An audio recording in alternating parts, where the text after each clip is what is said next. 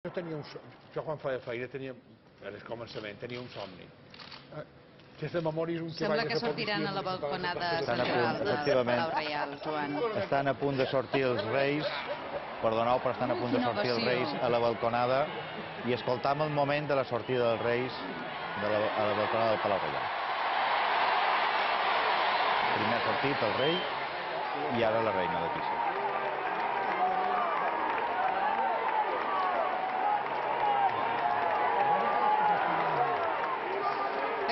salutació la varen fer ara fa 10 anys, plovia i ella anava vestida de novia. Sí, avui és una ocasió igual de solemne, a lo millor, però molt més transcendent. Saluden també la princesa d'Astúries i la infanta Sofia. Suposam també que s'ajuntaran els reis, Joan Carles I i la reina Sofia. Sí, en una segona fase, podríem dir. Primer su- saluda la nova família reial i després ja s'incorporaran el rei Joan Carles i la reina Sofia, que ho estan fent en aquests precisos moments.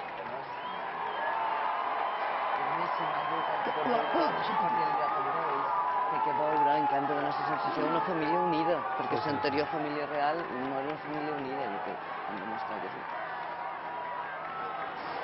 Hem pogut veure el rei Joan Carles avui matí i fins ara estava En un segon pla. exacte a un segon plànol, volia donar-li protagonisme al seu fill.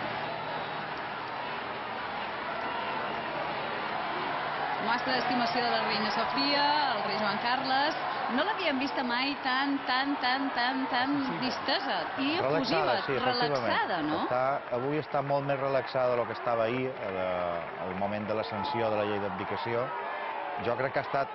Jo, és una opinió molt personal, però crec que s'han llevat, efectivament, tant Joan Carles com Sofia s'han llevat un pes de damunt. No? I a més hi ha una cosa importantíssima, que eh, per ella, com a persona, per la reina Sofia, que ella ha fet i ha contat tot el que ha tingut que contar i ha fet el seu paper institucional perquè el seu fill arribés a ser rei. Efectivament. Tota Sí, el senyor Parera estat destacava enfocat- la professionalitat de la reina. Claro, però ha estat enfocat una- en el dia que el seu fill arribés a ser rei. És una, de, I és avui.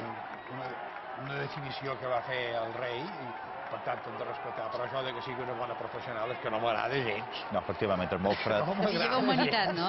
És molt fred, efectivament. Però no deixa de ser descriptiu, també. És una bona professional. Sí, bueno, no, no, però no m'agrada. Jo destacaria una frase que ha dit el, eh, el rei Felip VI en el discurs quan s'ha referit a sa mare que li ha agraït el que ha fet per ella, diu com a fill i com a rei, el qual és un poc el que estem dient, i que l'aplaudiment que han fet les Corts Generals ha estat tant o més intens a la figura del rei Joan Carles com també la reina que és, membre de la Casa Real que té una valoració molt més elevada que el propi rei Joan Carles. I ella continuarà, jo crec, exercint en un segon pla, però d'una manera molt correcta, i és un dels suports que té, sense cap dubte, el rei Felip VI. Jo destacaria, però, una qüestió, que és que, que vol transmetre en aquests moments la monarquia espanyola. Un relleu en normalitat, una família que assegura la continuïtat de la institució, de la jefatura de l'Estat, que es compleixen els preceptes constitucionals i la veritat, jo el debat, aquest fals debat que s'ha suscitat de monarquia-república, no veig unes grans manifestacions pel carrer, al contrari, el debat en aquests moments és Constitució sí, Constitució no.